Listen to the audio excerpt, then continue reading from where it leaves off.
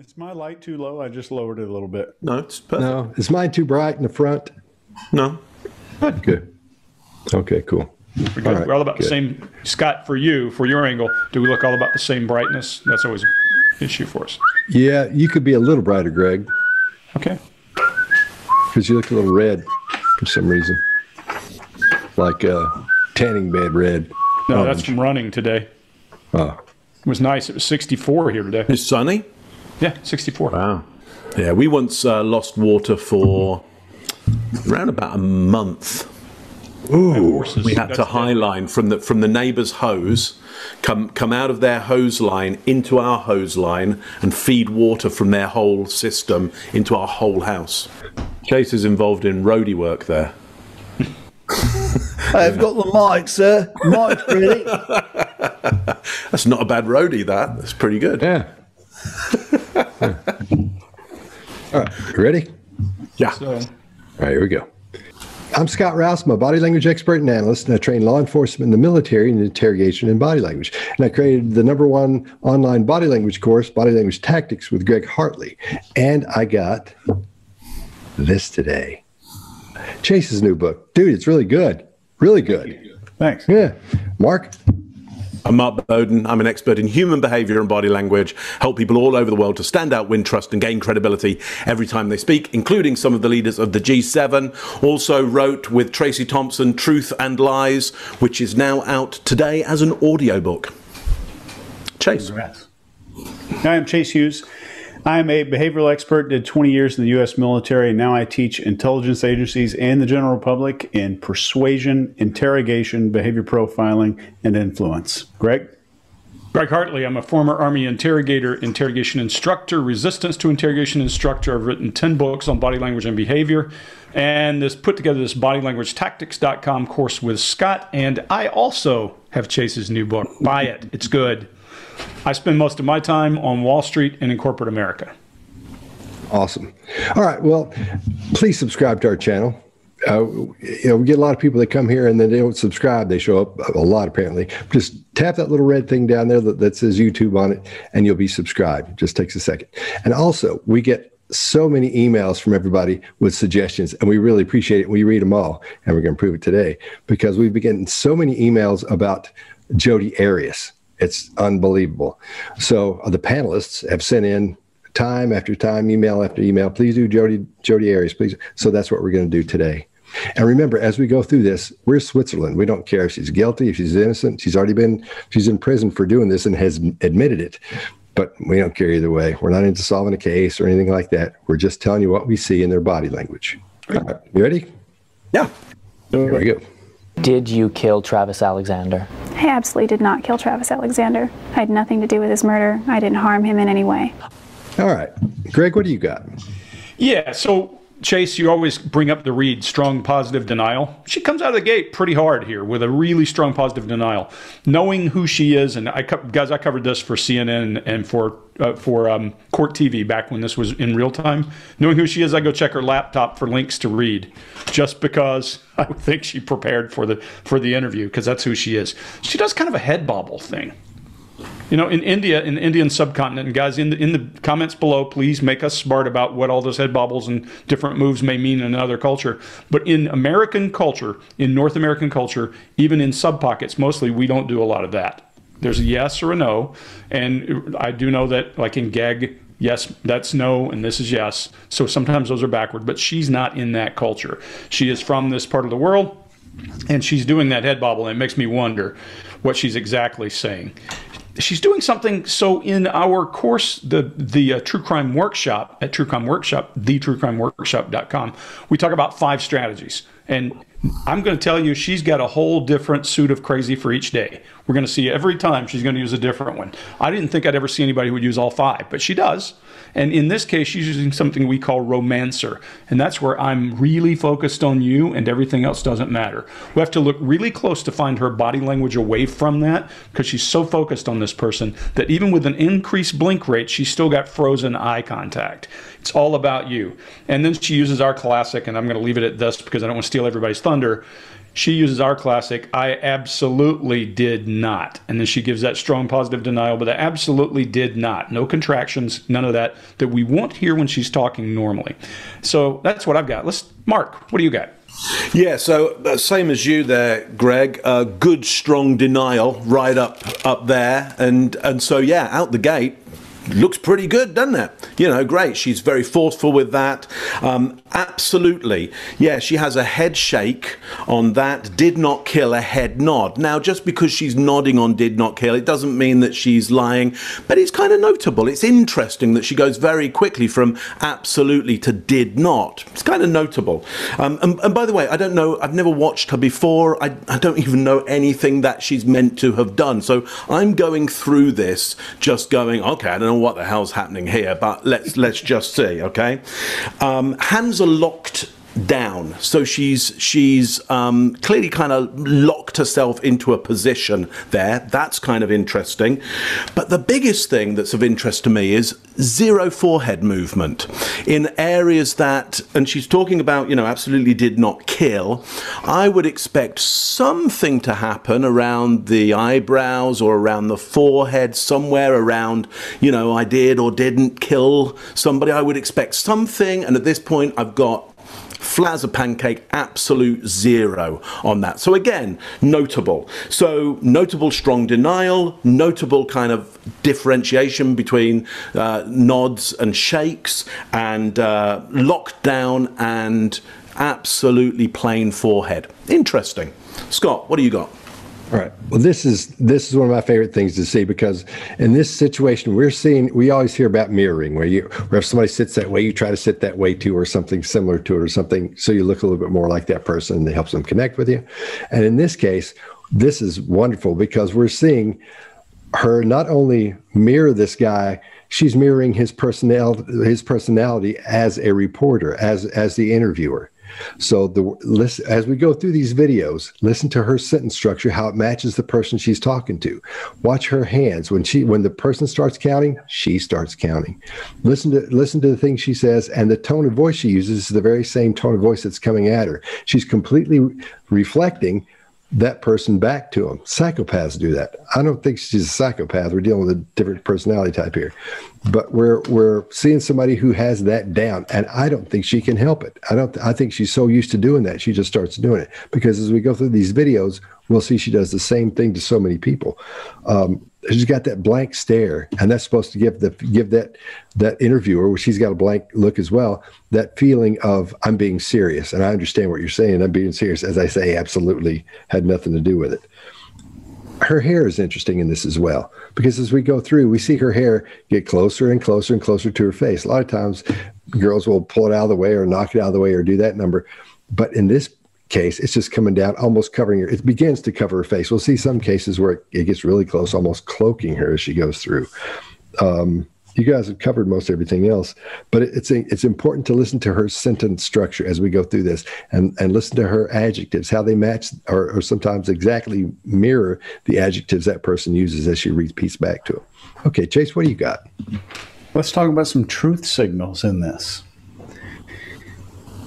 it, this is another thing. I agree with Scott. I think she read the Reid interrogation manual in that she was comfortable using both kill and murder in the exact same denial. I thought it was unusual too. Had the same notes as Mark did, where we're talking about her nodding as she's saying, nodding during the commission. This is maybe a gestural mismatch at best, but it's a very good data point because her behavior, no matter what, her behavior does not have this in her baseline in her other videos or anything she's posted on social media before. And in any way, I didn't harm him in any way. In any way is what's called a qualifier. We're adding something on to the end to make the first part make more sense. And if you watch this again, there's no emotion. It is vapid and hollow and empty. So I think that's interesting to know. But biggest of all, as I said in, in our previous videos to you, there's a vanishing perpetrator. She claims to have seen it, and doesn't discuss the perpetrator. If you even witnessed the crime, especially if you saw it happen, that would be the key focus. No matter what question somebody asked you, you would be describing to them what happened, the horrors that you witnessed, the person that committed the crime. The perpetrator is gone. We don't see it here at all. That's an incredibly valuable data point that I think points very closely to deception here. And that's all I got. Excellent. All right. Did you kill Travis Alexander? I absolutely did not kill Travis Alexander. I had nothing to do with his murder. I didn't harm him in any way. We good? Yep. Moving on. I witnessed um, Travis being attacked by two other individuals. Who? I don't know who they were. I couldn't pick them out in a police lineup. So what happened? Um, they came into his home and attacked us both. All right, Chase, what do you got? I think pronouns are important, especially here. There's a book called The Secret Life of Pronouns. It's by Dr. James Pennebaker, who really digs into this stuff. I think he's a, a psychology professor at the University of Texas. She says they came into his house and attacked us. And I witnessed a person attacking. Now let's think about the words she's using. She's saying, I witnessed individuals, not people, not men, not somebody. I witnessed individuals. This is clinical, sterile, vapid, hollow, non emotional language. And instead of talking about what happened, she's talking about the evidence. I witnessed something happen.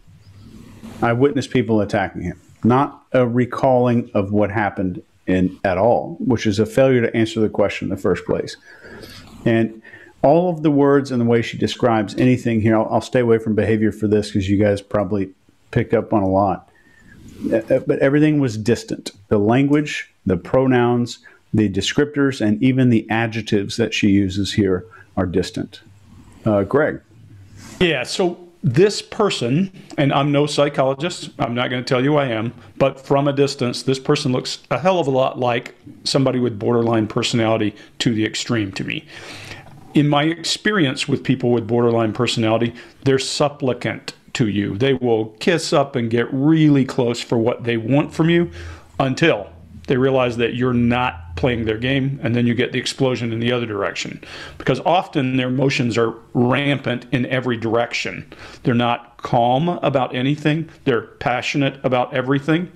And so you end up with this kind of a personality uh, going out of their way to really suck up to you very supplicant up front. And i can feel that.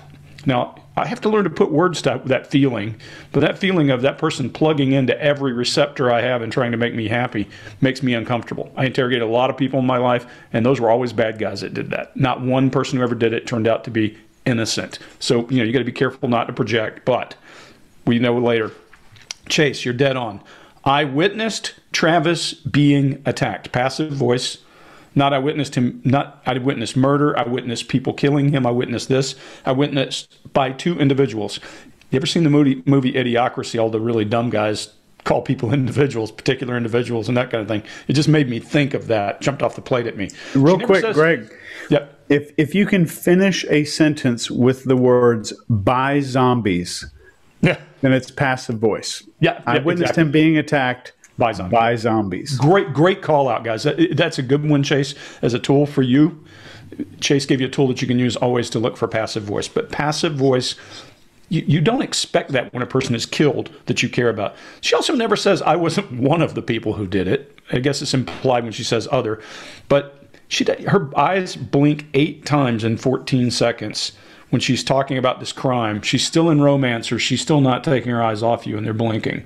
That right there is the kind of stuff you wake up in the middle of the night sweating over if you've you know if you were there and, and survived this attack because that kind of constant focus usually I, I associate that with a person who has some kind of a personality disorder and that ability to constantly suck up right there is just powerful so pay attention to her because you're going to see her doing this the rest of the time we don't see her get angry because the people that do won't forget it guaranteed scott what do you got All right. There's no way she could possibly, I agree with all you guys, she could possibly separate herself from this even any further. I mean, everything is happened over there. She's telling everything almost from, even though she was involved, as if in the third person almost, except for I witnessed. And as we know, people who use cop and lawyer terms I've usually spent a lot of time with cops and lawyers and or lawyers. So that's why she talk. That's one of the reasons she talks like that. She has spent an enormous amount of time time with them up to that point. There's no emotion in her forehead except when uh, he says, "What happened?" Then her eyebrows are up, and she's saying, "What happened was uh, that part of it." Um, you guys covered most every everything that I've that I've got as well. Um, yeah, but the part that bothered me was that I witnessed. Sounds like she's in court. What what happened? I witnessed whatever, or, or a, police report. I witnessed whatever, or this happened. what did you do? I witnessed this. As you write all that stuff down. Mark, what do you got? Yeah, so I just want to show you on my on my notes, uh, just as you were saying there, um, uh, Scott. No forehead, still no forehead action happening. No description of the attackers uh, up here again rings alarm bells with me. Uh, and then I get further down into it, and I think to myself, you you couldn't pick them from a lineup. Well, that doesn't mean you couldn't describe something, you know, tall, short, slight, uh, in jackets, in coats, boots, I mean, something. But no, I'm not going to describe them at all because I couldn't pick them even in a lineup. So that kind of alarms me. Um, oh, I witnessed, um, Travis. So there's an there's a filler in there. There's another filler uh, in uh, what what happened, and then there's an um before that. So these fillers are coming in again. It alarms me. If putting a filler in doesn't mean anybody's being deceitful, or I'm, I'm just taking you through when I'm looking at something fresh. These are the kind of things that I pick up on. It's like, what? why do you have to stall there for a story that could be vivid in your imagination? What's the stall about? Why does the brain have to think at that point? There are some very good reasons, but I'd want to check out that it's happening for good reason rather than bad reason. Now, here's the, the thing that really sticks out for me. And, and Scott, when you put the, uh, the video in, make sure you keep the few frames before we get we fade into her. Because as I was watching that, I picked up on those first few frames and, and a little alarm bell went off in my head when you need to look at that picture. So I went back and looked at the picture, and what it's fading from is a picture of uh, the, the, the woman here holding uh, a man's uh, with a man, and and I assume the man is Travis. I don't know, I, but I, I assume that, and. Uh, it, the picture alarmed my unconscious because the hand is behind the neck and the other hand is cupping the chin. This is what we call a trophy gesture. So, a trophy, the word trophy comes actually from trophic, which means to kind of separate or move hard or, or, or, or, change its direction. And, and original trophies were literally the heads of the enemy. You would slice off the head of the enemy and you would display it, and that was a trophy. She is holding somebody's head as a trophy. The gesture she's making there is really quite odd and not usual. You don't normally see, number one, people being allowing anybody to do that or even anybody doing it. Even just the touching of the face is a really big gesture, but the touching and then holding the back of the neck as well, so you have complete control of that, it's a pretty big thing. So I instantly, two videos go into it, go, there's something up here. There's something really up here because that is an interesting gesture to want to deliver and to be captured. So that's what I got on that one. There we go. Oh. And another thing, just to add to it, we're hearing the headline of the story. We're not hearing the story. We're not hearing what happened. We're hearing the headline of what happened. It's almost exactly what you'd read. Yep. So well, let, let me add one last thing because I think this is tying all this together. What these people are good at, the kind of people who do this you know receptor thing I'm talking about, where they're supplicant and then explode, is they have a great innate. Where, where we may say a psychopath doesn't know how to work people and they have to learn. They instinctively know how to work people. They instinctively because all their emotions are up, down, all that are broad and deep they they fall in love quickly they fall out of love quickly those kinds of things but they perceive what somebody needs quicker than other people and if you watch you'll find that natural tendency to mirror. This is some of the best mirroring. I can't teach mirroring better than she does in this in this show. We'll point it out as we get through these next few frames. Cool. I witnessed um, Travis being attacked by two other individuals. Who? I don't know who they were. I couldn't pick them out in a police lineup. So what happened? Um, they came into his home and attacked us both. All right, we good? Yeah. Let's move. I'm not proud that I just left my friend there to be slaughtered at the hands of two other people. I'm not proud of that at all. You understand, you look guilty here.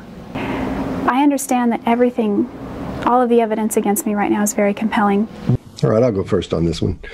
Um, what we're seeing here again is what I talked about at the very beginning. The guy starts doing this and she starts doing that too. When you watch this a second time, pay attention to her hands in this. We may see some digital flexion,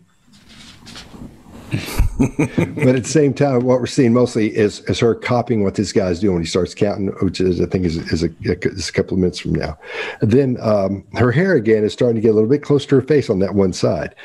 Um, her again, her adjectives, her descriptors are just right down the same path as his, very same thing almost. She's still trying to act serious, and then. Um, who says uh, to be slaughtered this way? I, I, feel, but nobody talks this way. It's it's a story, and I don't think she rehearses her stories out loud. I think this is a bad example or a great example of somebody who doesn't rehearse the story they're getting ready to tell. They know what they're going to say, but they just think about it all the time and don't say it. So, Mark, what do you got? Yeah. So again, just so you can see, we we, we don't look at these videos together. We do it completely separately. Come together.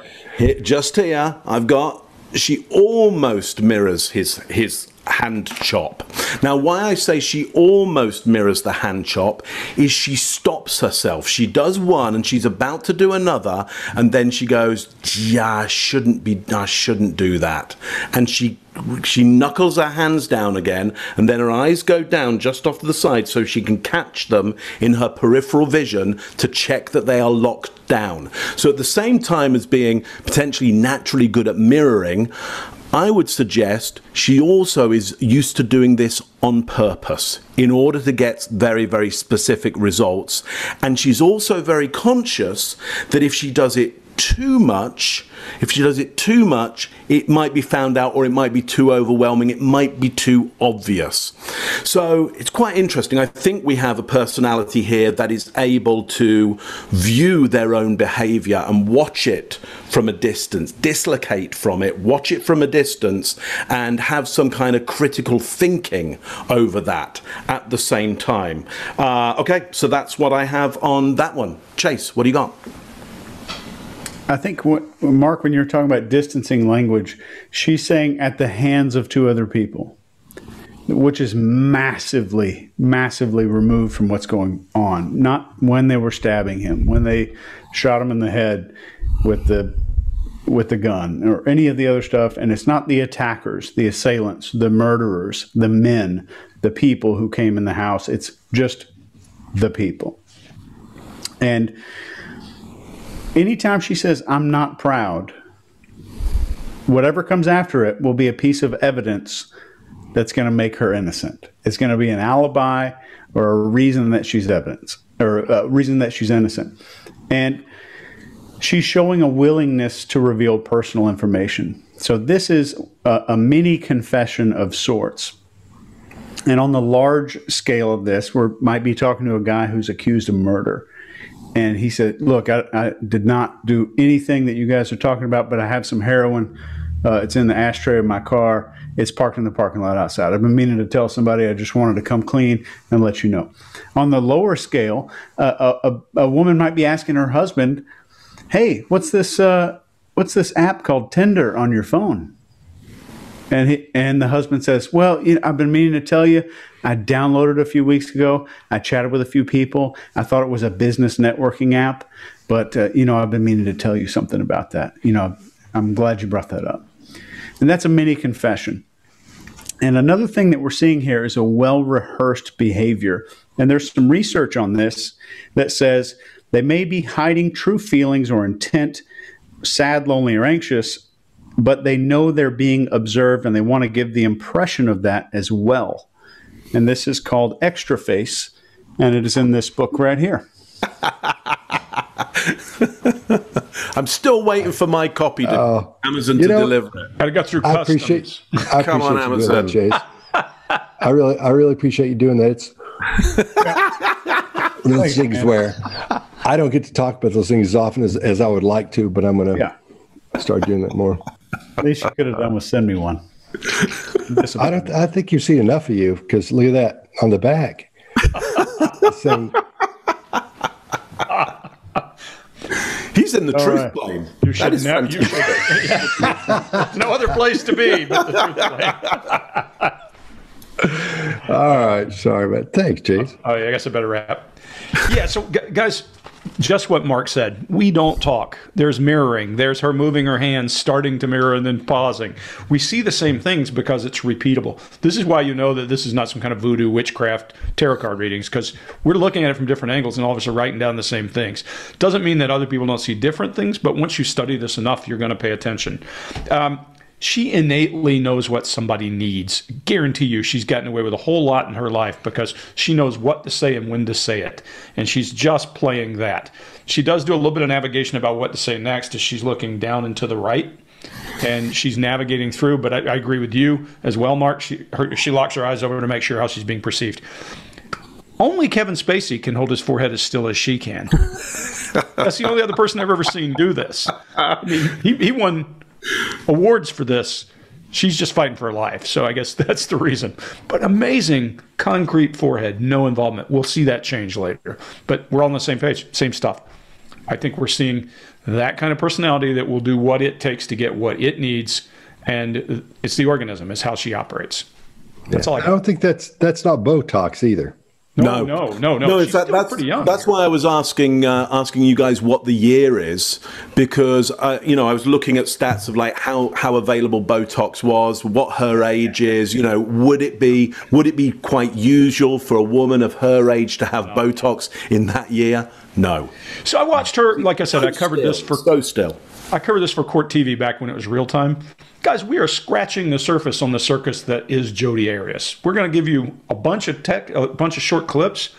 You, we could spend this could be our show. It could be the Jodi Arias as a circus show, and we could just go on and on and on and on week after week because there's so much stuff out there. She loved the camera. She got in front of the camera at every turn. She did headstands in the interrogation room, sang during her interrogation all kinds of crazy stuff that we're not even going to talk about in detail here today. So yeah, I, I do think she. The reason she didn't rehearse, Scott, is she's smarter than you are. So why would she? That's true. That's true. I'm not proud that I just left my friend there to be slaughtered at the hands of two other people. I'm not proud of that at all. You understand, you look guilty here. I understand that everything, all of the evidence against me right now is very compelling. All right, we good? Yeah. You did not shoot Travis. No, I've never even shot a real gun. You did not stab him 27 I've never, times ne- that's that's heinous. or I've never. slit his throat from ear to ear. I can't imagine slitting anyone's throat. When's the last time you guys used the word heinous? I used it Tuesday, but that's a Red flag. Yeah. all right, Chase, what do you got? So the questions are all formed to have single word responses. Bad idea. If you're interviewing anybody, your kids, a person for a job employment, open ended questions are what you mostly want to do, but we still need closed ended questions. Always. But this is not the time to do it. Uh, she never even got a chance to respond, which I think is uh, what's the word? Heinous. Yeah, Heinous? heinous. heinous. It's just absolutely heinous. It was a heinous thing here. I was going to say egregious. Agree. It's a good one. And uh, the a- answers are ambiguous and evasive. I'll leave it at that because I'm going to go long on the next one. So, uh, Scott? All right. Um, when, she- when she says, I never even shot a real gun, we hear fading facts. When someone's not being honest with you, a lot of times what they'll do, as you've heard me talk about this before, as they're giving you the answer, they get quiet toward the end of it. Not that quiet, but you'll hear it fade like that. And she backs up just a bit. It's really subtle, but watch for it at that point. No matter what she says, every answer she, she gives, she's got qualifiers for it. That's right. That's when then heinous comes up at that point. She never shot a real gun. You shoot him? Never shot a real gun. Did you stab him 27 times? That, that's heinous. And then, uh, did you slit his throat? I can't imagine. Everything has an adapter. She or has a, has a qualifier. She is. A, she never goes. No, it wasn't me. I didn't do it. I didn't do no. Are you kidding me? No, I told you no, I didn't do it. Never any of that. Never having to settle her down. Never goes off. Nothing. And again, her hands matching every move. Every time he counts, then she does the very same thing. She's just mimicking this guy, literally not mirroring, but just mimicking what he does. She's reflecting, not digital flexion. she's reflecting his what he's doing back to her at that point. All right, uh, Greg, what do you got? Yeah, guys, baseline, baseline, baseline, baseline. I ask you, did you stab this guy 27? Did you slit his throat? Look, guys, average people, if you ask, did you slit this guy's throat? Well, no. Disgust. Something on your face. Not, no, I didn't do that. That's heinous. Or blame the perpetrators. Yeah, yeah, or the perpetrator. Somebody else is coming. This, for me, something is going to go back. You're not going to be unemotional talking about stabbing a guy 27 times, cutting his throat, shooting him, looking for a reason why you couldn't have shot him because you never shot a gun before. Okay, I could say I never shot a gun before either in my life. Okay, we'll figure that out. Let's see where it happened. I can't imagine. Well, she probably doesn't have to imagine. She knows what it's like. So she can say, I can't imagine what it's like. No emotion, no story. Only thing she's doing is whatever this guy needs. This is one on one for her. That's all it is. And she's doing whatever she feels like he needs. And she thinks, uh, you hit it earlier, Scott, that newscasters don't get on and do a lot of this. They're reading the news now for the facts, you know, that kind of thing. And she's doing that. She's mirroring this guy. She's being as contained as she can.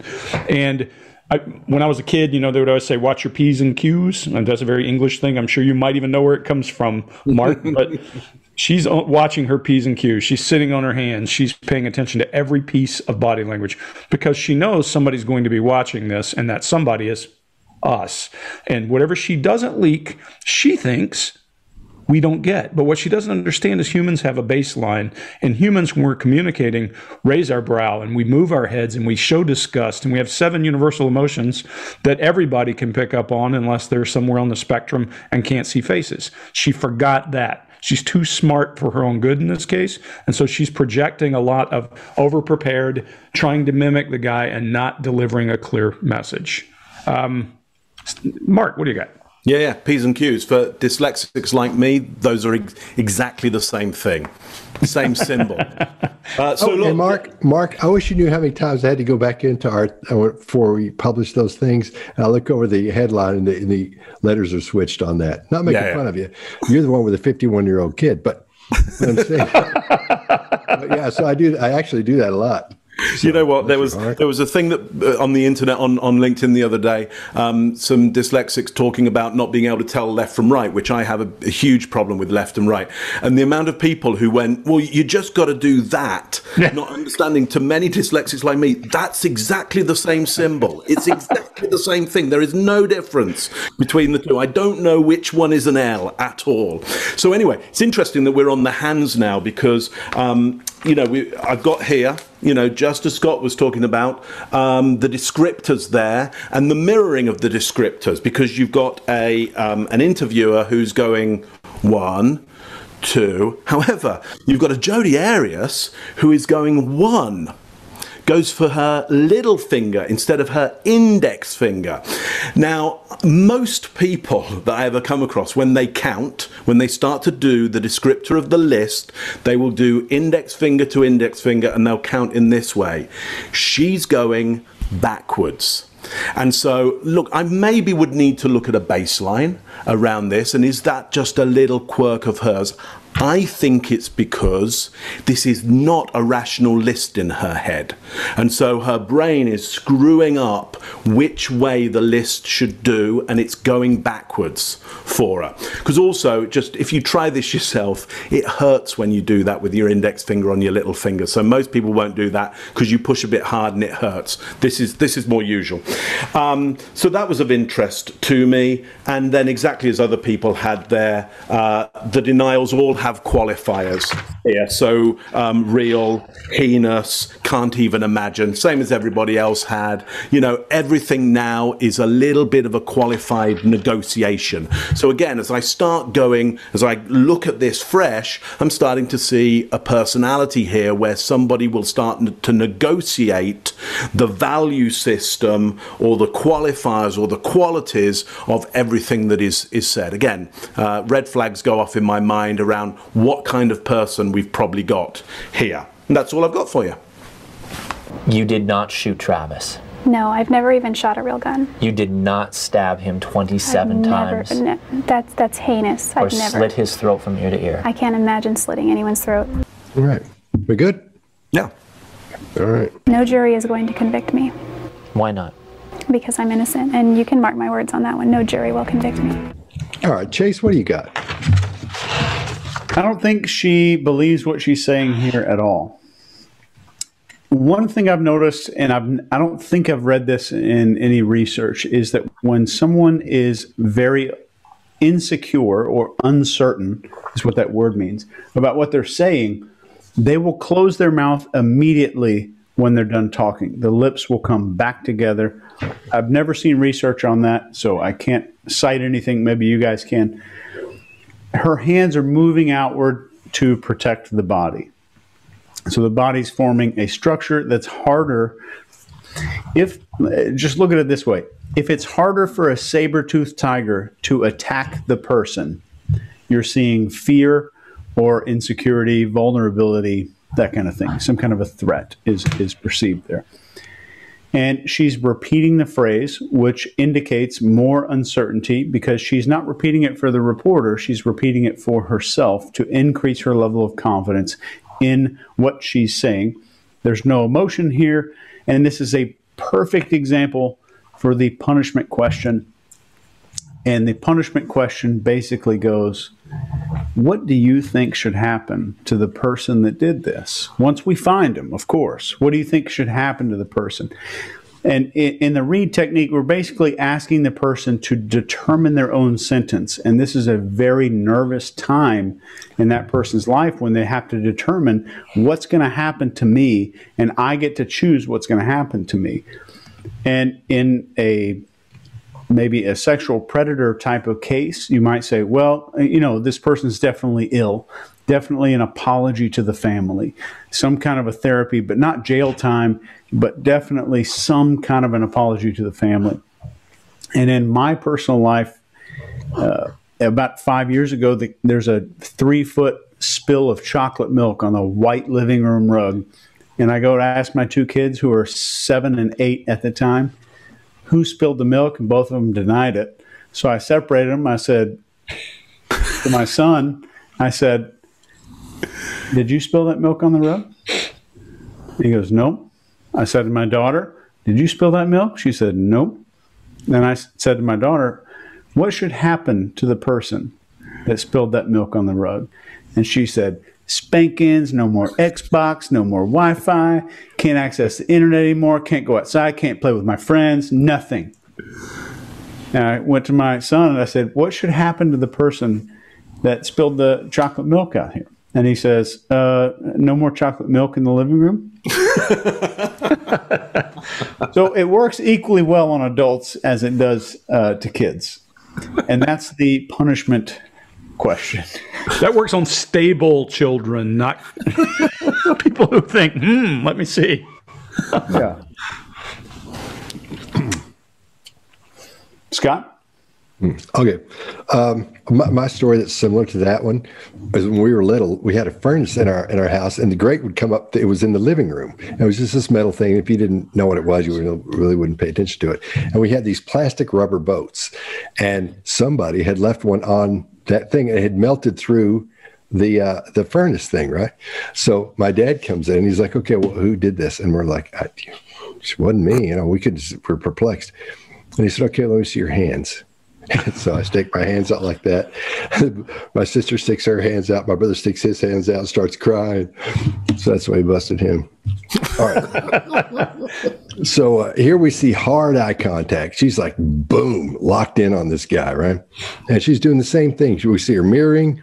And, uh, and you're right, Chase. Her, her she creates a bigger barrier through using digital flexion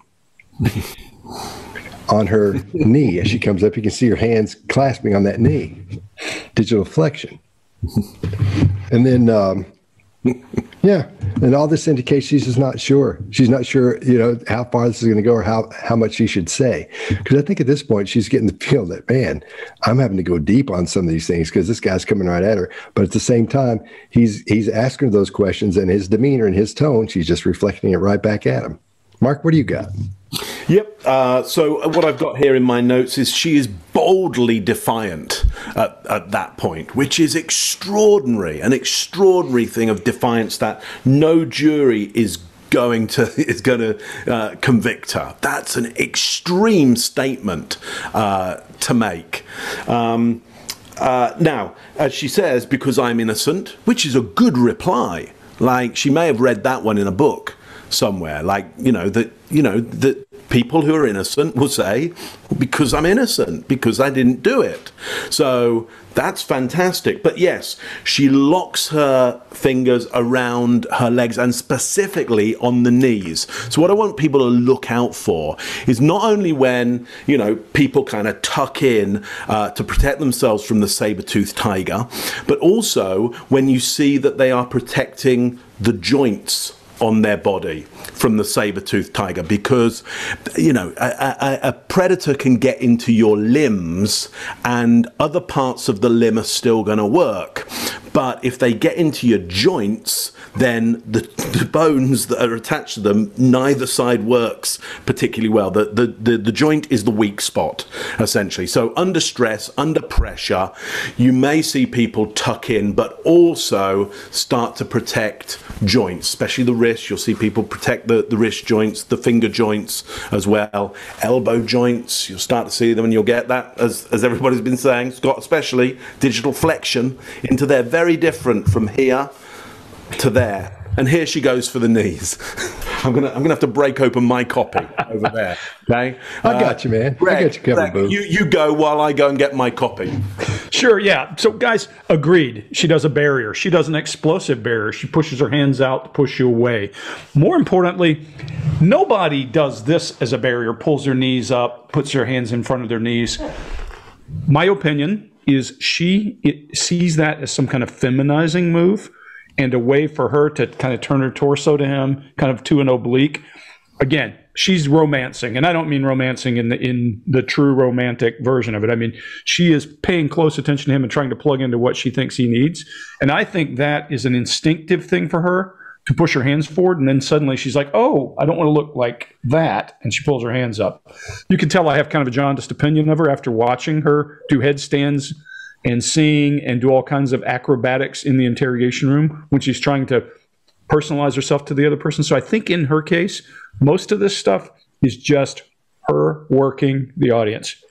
She purses her lips a little when she's starting that whole now mark my words the other one scott this is you say this all the time but this is dick dastardly on the train tracks right here mark my words you'll never see her live again oh yeah not the yeah, way people talk that's not the way people talk typically. I don't think I I don't remember the last time I used the words heinous and mark my words in a single day, lifetime maybe. I don't know that I've ever used those two words to describe a situation. So this is more of her romancing. She's in she's in romance. She's in that pushing. One of the five strategies that we think people use to, or one of the five strategies that people do use to deceive and to push you away from them so you can't get information. It's just what she's doing. Again, that face is not doing a whole lot, a little bit of lip pursing, and that's it. No jury is going to convict me. Why not? Because I'm innocent, and you can mark my words on that one. No jury will convict me. All right. Um, Did you? I have to ask you this. Did you kill Travis Alexander? Absolutely not. No, I had no part in it. Mark, what do you got? Yeah, uh, I had no part in it, uh, which is which is um, you know pretty defiant and, and pretty clear. Uh, however, chin tilts up at that point. There is a little touch of potential arrogance there, a bit, a bit of a sense of, I don't think you can touch me. So maybe a sense of arrogance there. Still nothing happening in the forehead here, again, notable. Um, what I find interesting is we've got sour taste here as well. Those corners pinch up. You get the cheeks coming in. That sense of something sour in the mouth. A little bit of a swallow as well as she prepares for the question, which is, you know, the question, you know, did you kill somebody? And so there is some preparation. And then once she said what she said with that little bit of defiance and arrogance, it goes back to sour taste as the lips pull back and the cheeks pull in there. So again, as a, as a you know, I, I still don't quite know what this is about, but as I'm looking at this, I'm going, there's summing up with that statement and that question. There. Uh, Scott, what have you got? All right. Again, we have hard, con- hard eye contact, and she's again mirroring these people. She's reflecting. It's not not talking about digital reflection. It sounds like it. When I say reflecting, I was talking about she's reflecting what she's seen off these women. Now, this is the same. The same video was made, and one of those where she start, she's putting her makeup on at the beginning and talking to those women. It's three women asking her questions in this in this uh, section in this interview she's doing. And what she's doing is she's trying to be like all three of those women. They're in there, they look nice, they're they know they're going to be on TV, so they're all dressed up and look nice. And she's as well. Her hair is down her face now. It's pulled back behind her ear, the ear that you can't see. I guess her right ear is pulled back so you can't see it. So she's still hardcore. She's she's juggling three people at the same time. And if you were to go through, if we were to go through that video, we'd see her doing that, um, imitating each one of those women as well. Um, and she gives her stock answer. Her stock poorly rehearsed answer absolutely not. And she's almost she looks scared to death when she's doing that because she she knows that's not true. And she's looking right at these women who she's trying to be like. And this is what separates her from those women. She's in prison and they're not. They're there to talk about her being in prison. So that makes her uncomfortable. I think that's why we're seeing that um, look on her face. Chase what do you got Well, you guys covered everything I had except for one thing. we have another Digital case of the vanishing perpetrator. Did you do this? No. These people did who broke into the home as I witnessed the things that happened in the room. That would have been a better answer than what she gave here, even though it's horrible. But uh, the, the perpetrator would be key front and center. Not just that she knew that it happened, but that she witnessed the entire event. According to her, the perpetrator would be the key player in the entire story. So, no, I didn't kill this. I, I didn't kill this guy. I know who did it. I watched them do this, and they did this and this, and it was horrible. It was awful. I was curled up in a ball, or I covered my ears. A lot of those kinds of things tend to happen in stories like this. Greg? Yeah. So a couple of things. I can't remember anything about this person that she mentioned earlier. What we know is that criminals, people who do it for a profession, know about redirect. So they may wear a big floppy hat or do something odd like that. I'm going back to McDonald, whatever. And that is a giveaway to allow a person to catch and link onto something that they then discard. Watched a case a couple of days ago where a woman was wearing a very distinct dress. They remember the dress, not the woman. So that's criminal 101 for organized crime folks and that kind of thing. They redirect and then they throw away whatever the prop is. At least she would have remembered that. And to your point, Chase, and the only reason I'm jumping on that is because of this perpetrator thing, she would have said, and they were wearing a raincoat when they came in the house or something. She would remember something, not nothing. This remembering nothing is a, a piece. And you would say some other scumbag did this, to your point, not this. When she asked her, Did you? Deep swallow. The only thing I noticed that we haven't mentioned is a really deep swallow. And then she declares in that voice tone and she puts emphasis. Mark, you talk about driving down. The emphasis is on no part as that jaw comes up and that draws her lips back for requesting approval. That's all I see. She's romancing this woman the same way. Now go back and listen to her voice tone when she's talking to this woman versus that man. She is changing her voice tone and her demeanor as she talks to this woman. Very different personas. And you're going to see her playing throughout this. The reason I said she gets a different crazy suit every day. She's going to be different in every one of these things you see. Her personality is there, but it's certainly not consistent. The only consistency is she's giving you what you need. That's what I got. Did you? I have to ask you this. Did you kill Travis Alexander? Absolutely not. No, I had no part in it. Cool. All right, we good? Yeah. Here we go. And had you received, since these people told you that they knew where your folks lived and they had all your information, had you then or have you ever been threatened by them? Have they contacted you in any way? I believe they have. Somebody has contacted me when I was um, still being when I was still in jail in California. I received two threats on my life, um, and these I don't know how these notes get passed around jails. Um, they're I've never figured out the full system. I haven't spent enough time yet, but there are ways that notes can get passed between inmates or from the outside to the inside and vice versa without just under the radar mm-hmm. of um, officers and things like that. And of course, it's it's it's it's um, against the rules and it's it's so you punishable. Received. All right, I'll go first on this one. So this is a case where she can't she can't be that woman. She can't turn to that woman. That woman is is out hotting her because she's she's being aggressive, but she's being feminine. And the, the strong, aggressive, feminine woman, man, there's nothing like that. And this girl can't copy that. She can't give that back to her. She can't reflect that as they're going through this. And when she asks her uh, asks her about that, she doesn't say, uh, yes, she says, I believe, and then goes into the story. I won't say, I won't go into the chaff and redirect part because I know Greg, you're going to jump up in that real big.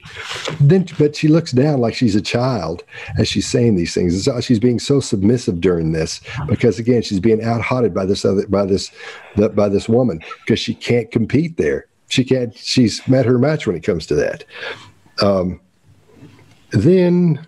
Um, then it's all just chaff and redirect most of it. Everything is she gives a little thing and and the part where she plays like ignorant about i don't know how they pass notes and how it works or whatever but uh, you know i got mine. Really? I mean i don't i can't i don't know why that woman didn't stop and go are you kidding me? You got to be kidding me.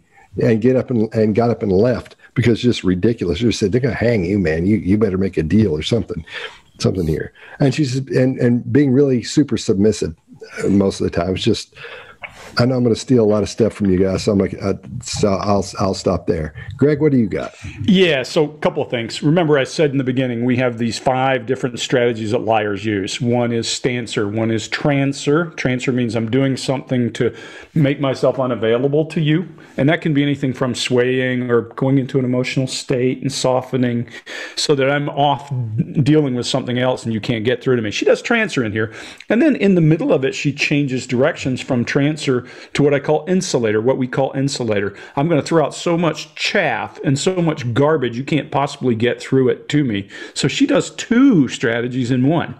She does transfer and she does insulator. Now, here's my favorite part of the whole thing. I believe someone threatened me. Well, hold on. Last time I was threatened, I knew I was threatened. And I also find it odd. What did they write in the note? You better watch it. I'm going to come down there to jail and kill you. Is that what they wrote? because I would ask her, what did they write if they said that? She's down to her right. She is working Listen to her voice tone change again. Listen to her shift gears to be what this woman wants, soften herself, and then she goes down to the right as she's having some kind of internal conversation, likely emotional for her at the moment, and she is navigating through the minefield as she changes her cadence to make up details. Um, I'm going to have to use it, and three of us are going to hit it. I haven't spent enough time in there yet. Even she knows she's going to jail. I mean, come on, everybody knows. But she emphasizes yet, and all I could think when I heard it was, well, you'll get your time. Don't worry. You'll know exactly how this works. She's storytelling, she's chaff and redirecting. She is really paying attention to this person and giving them what they need. And that is her in the nutshell. Chase, what do you have yet? what I think, to Scott's point, I think this woman's behavior is causing something that's very common in psychology called regression. So I think she is defaulting to a regressive or childlike behavior because that's kept her safe in the past. Anytime we feel threatened, we'll, we'll either default to training, which she doesn't have right now for this, or what's kept us safe when we were little younger than the age of 13 when a lot of these scripts and hardcore uh, patterns write themselves into our our brain without us really knowing about it. So I think that that regression is a defense mechanism for her in some regard here. And we're also seeing another, I think this is the second confirmation that we're seeing here that her eye home or the place that she usually accesses memories is about nine o'clock. If you're looking at, at, at her face there from, from our view, from your view. And there's solid internal dialogue. Uh, her eyes are going straight down because the interviewer asked an open ended question and forced her into that position, which I think is fantastic. And uh, no one's mentioned this yet, but she used the word yet, and she's kind of uh, maybe a little foreshadowing uh, going on subconsciously for her that I haven't uh, I haven't spent enough time here yet. But she's using this distance language and things like that and such. But I think it's important to notice that she says this is against the rules and this is punishable at the very end of this clip, you'll hear her say, "This is punishable." So whoever's doing this, I'm gonna I'm gonna say they're really bad because punishable by X, Y, and Z, which I think was the end of her sentence here at the after the clip ends, is what she's been hearing about herself for the last several months. So in order to make it severe, she's gonna she's gonna say that the other people are subject to the same thing that I am. Is that everybody? Nope. nope. Mark, Mark, what do you got? So, uh, yeah, so to Scott's uh, point, I've got here she is more flirtatious now. Um, what I mean by flirtatious is she'll get strong eye contact and then she'll look away. The eyelids will come down, she'll look away, and then she'll grab more eye contact and then she'll look away. And that kind of, she's fishing, she's drawing us in, she's drawing us in. So I started wondering to myself, so why is she doing this? Because things have changed now and my my assumption is that she has something now that the media would like she's now got some kind of new story something that she knows that they will they will tag onto and, and they might play to her advantage. They'll join in with her. So she's fishing there.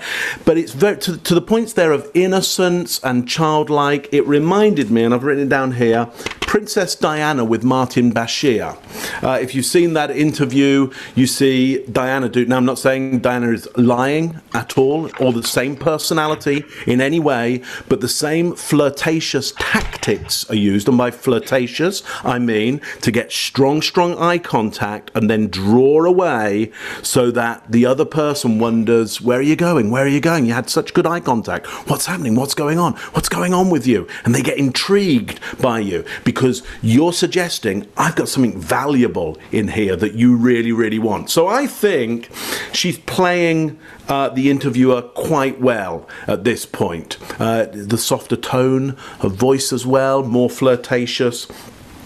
So uh, let me see if I can add a little more value around this idea of yet. So you've heard that this idea of well, why would she say yet?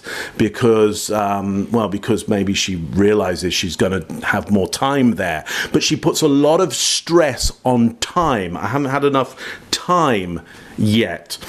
Well, that suggests that she's saying that she didn't know how the system worked, not because she's not smart or she didn't have the knowledge or she's not, not intelligent it's because she didn't spend enough time there. So she's saying hey i'm really smart. I'm really intelligent. If i had more time i'd know how things work. So at the same time as saying, look, I just don't know anything about this, she also wants to say, but I'm really smart, I'm really intelligent. And what that signals for me is a certain personality type. What is the type of person who at the same time as saying, I don't know anything about this, will also have to say, but I'm really smart, by the way. I'm really, really clever, but I don't know anything about, about this, just hadn't enough time. Really specific personality type will do that, and I'll let you investigate what kind of personality that would be.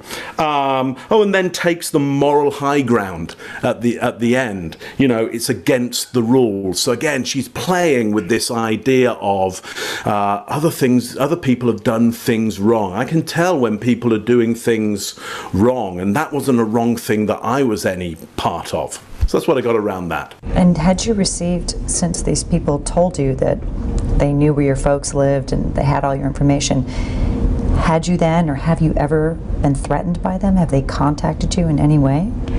I believe they have. Somebody has contacted me when I was um, still being when I was still in jail in California. I received two threats on my life, um, and these I don't know how these notes get passed around jails. Um, they're I've never figured out the full system. I haven't spent enough time yet, but there are ways that notes can get passed between inmates or from the outside to the inside and vice versa without just under the radar mm-hmm. of um, officers and things like that. And of course, it's it's it's it's um, against the rules and it's it's so you punishable.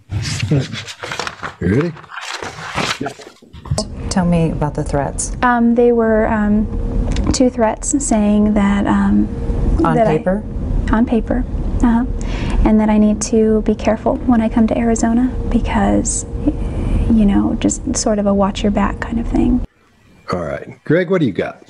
Yeah, so I think she perceives a threat in this woman in a way she hasn't up to now because watch her chin. It's not up ever. We haven't seen her chin rise yet in this entire interview. And she's giving this woman what she wants to hear, and she does that. Now she's going to romance, back to your flirting thing, Mark. She's going back to romance her. She's back making hard eye contact. And then, I'm not going to hit everything I have here, but there's internal conversation. And then when she asked the question about, did you, two notes? Um, yeah, sort of, you know, threats no, I don't know exactly. What did they say? I'm going to come down there and kill you in that jail. What did they say exactly? I would. Pro- that's us as interrogators. We'd poke and ask questions to make her story come apart because it's not sustainable, and we know that's just not true. But she does a great job by getting her to talk. She asks open-ended questions and she gives it to her. Now we're back to this same thing. I'm telling you, supplicant, supplicant, supplicant. And what I find with this kind of people is they're supplicant until they don't get what they want, and then it's explosive.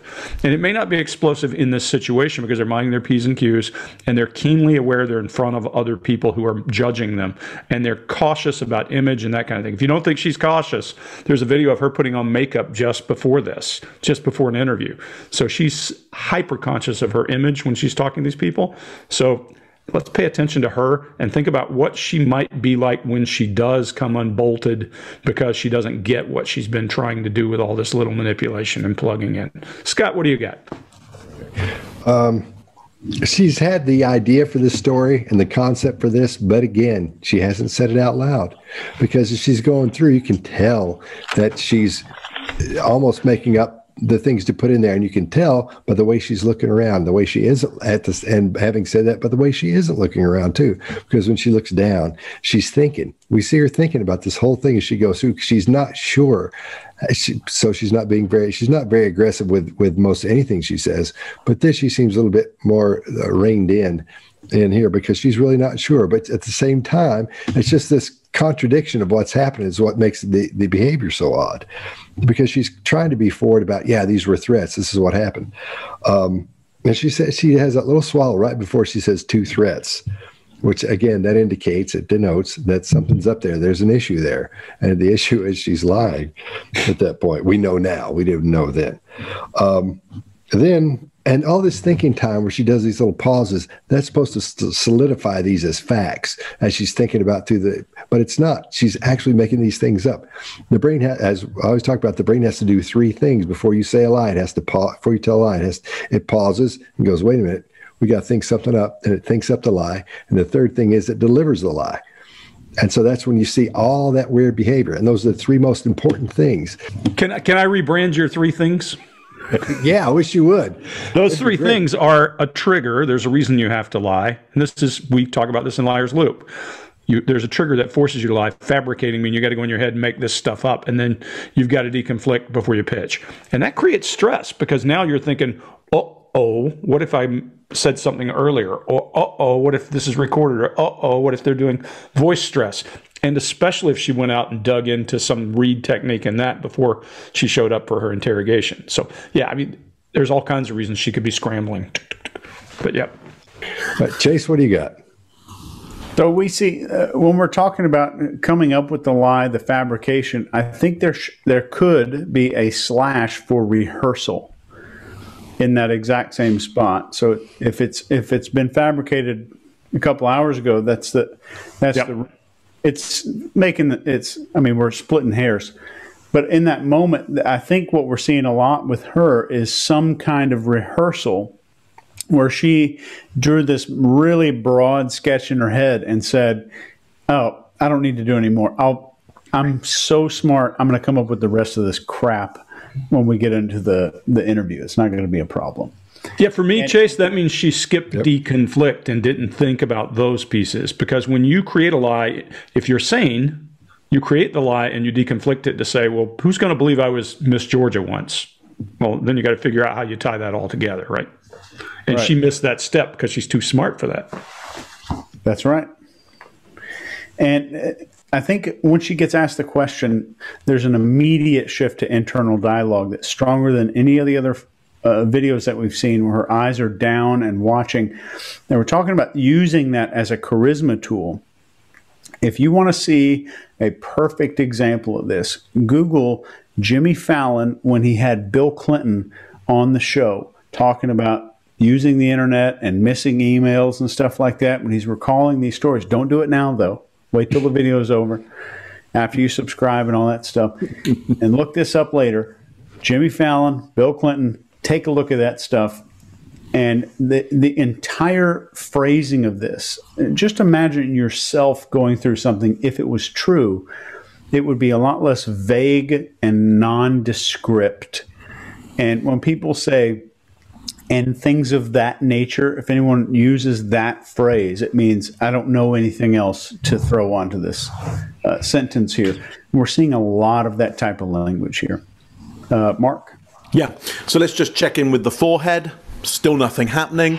In fact, I think the only time I've seen anything happen in the forehead in these videos was in the last one where she raised her eyebrows just slightly on the word time, putting some stress on that as well vocally. But, you know, in this one, again, still nothing happening in the, in the forehead. Really interesting.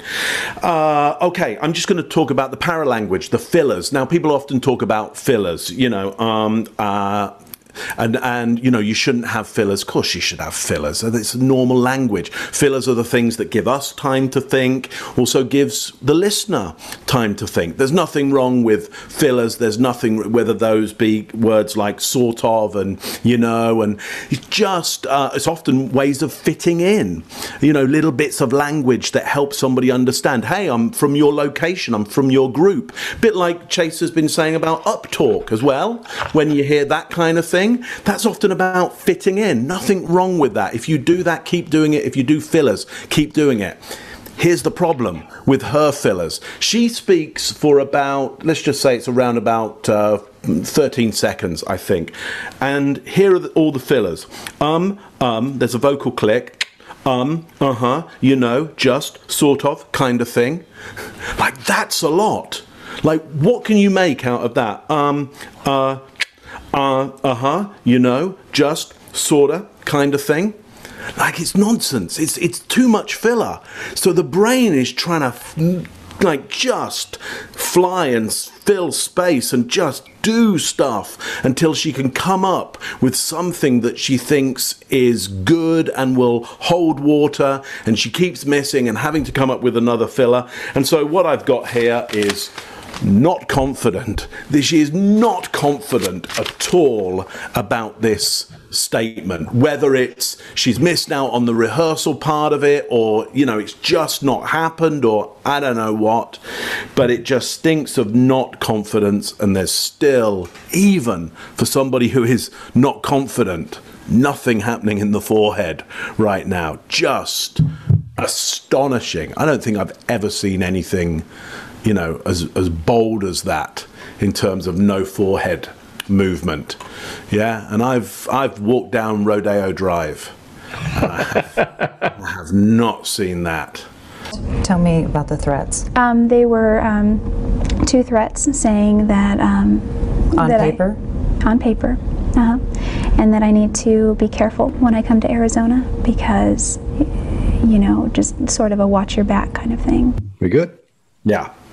There we go. It was Who a, gave you those notes? there's You don't have to give me a name, just tell me how the note came to you. there's only one way that it came to me, could have come to me, and it was through um, material that comes into our without naming the person, material that comes into our cell, um, and it was folded within this material. Okay. And there's, a, you know, usually notes, notes are passed all the time. So there was one note folded up with my name on it, and they're like, oh, here, Jodi, you got a note. And I'm like, oh, cool. And I opened it up, and, and it just started shaking, and it was like, oh, gosh. Um, and, you know, everyone's like, what did your note say? What did your note say? And then someone's like, what did your note say? I said, oh, just something stupid, you know, and I just kind of didn't, I just ripped it up. All right, I'll go first on this one. Um, we see that face scratch. That's a classic adapter. It's one of those things where where people are talking, they want to they want to push on their face or touch their face, and it helps it helps relax them. Adapters are things we use to get rid of that built up tension or energy and, or stress. And so she scratches her face, and that helps with that. Then when she we see her eyes widen when she says. Um, without naming the person, but as in, uh, you know, you know, for example, if I was to say, if we three, if we four were in a group and there's somebody that we're talking to, and I said, I, I told, and I was telling a story. I said one time I was in a situation where uh, we uh, started, uh, the person I was talking to started talking about dandruff, and you all would know. You, I think, because I think I've told, I know I've told Greg, but I think I've told you guys that story too. Without me naming that situation, you would know that situation. If I said, uh, the person with a dandruff. She nods her head and does the, the same thing. So, giving this, trying to give the interviewer the feeling of, you know, like it's this really happened. You know what I'm talking about. You've been there. Um, and then she's trying to look like these facts, like these are facts, like this actually happened. That's why she starts adding all these qualifiers to help prop that thing up. And then she um, destri- describes everything in detail, but what's on the note? She she talks about people. She talks about how you get those things in there. She talks about everything but the contents of the note, what the note actually says. And when she's talking about the other people being there for that, that's sort of helping solidify her um, that this is a fact. Other people are there. I've got all these people to back me up. We're not going to talk to any of those people. They're in prison. You know, so I'll interview them too. No, she's just saying that to help add all that to, to help strengthen her her answer to that thing. Uh, she knows she knows the story's lame, and the, the the lamer it gets, the more she tries to prop it up, and the more it heads right for the squatter. So she she knows she's in trouble at this point. Chase, what do you got? Well, uh, pretty similar here.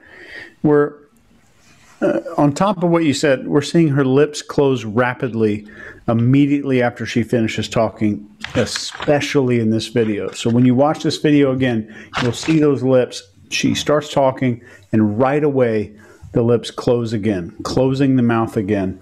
And we see that she's more expressive here. She's more willing to be expressive.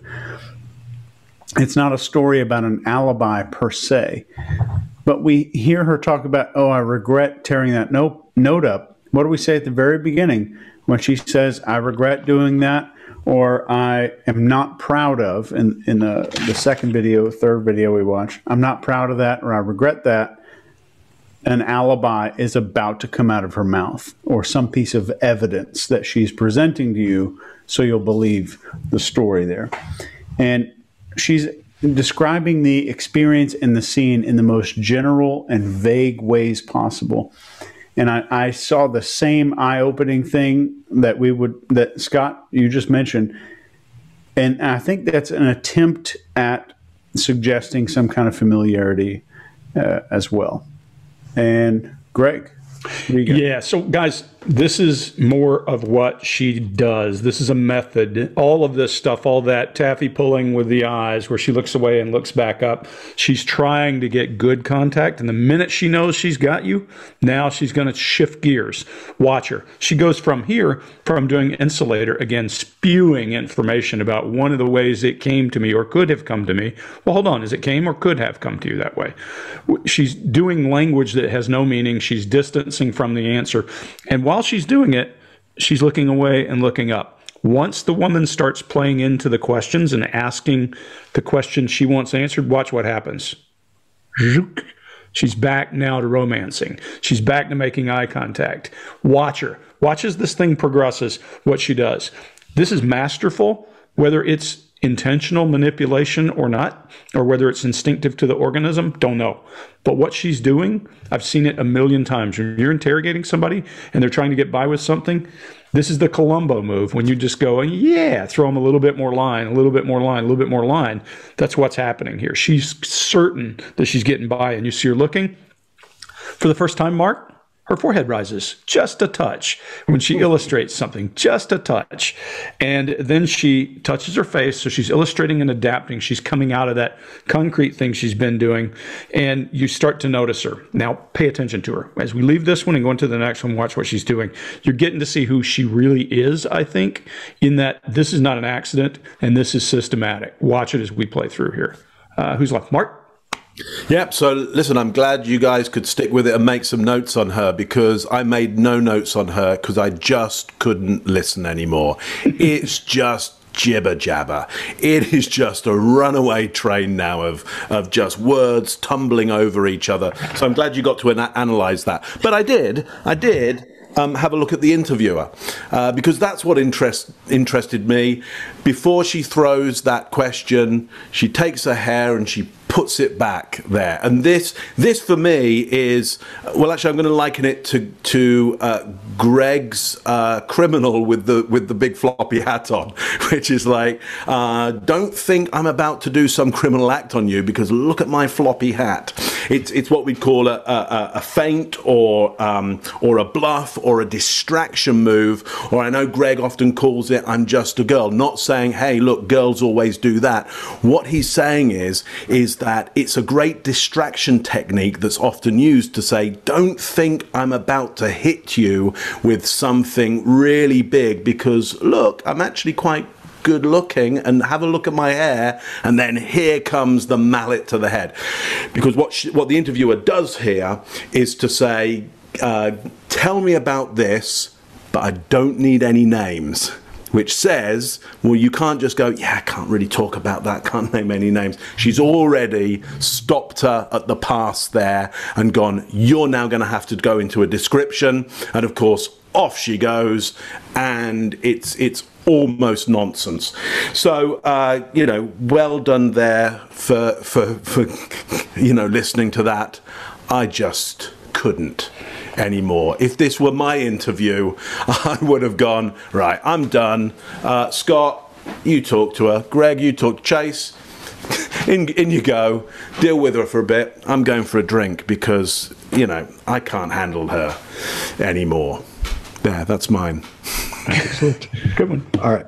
It was Who a, gave you those notes? there's You don't have to give me a name, just tell me how the note came to you. there's only one way that it came to me, could have come to me, and it was through um, material that comes into our, without naming the person, material that comes into our cell, um, and it was folded within this material.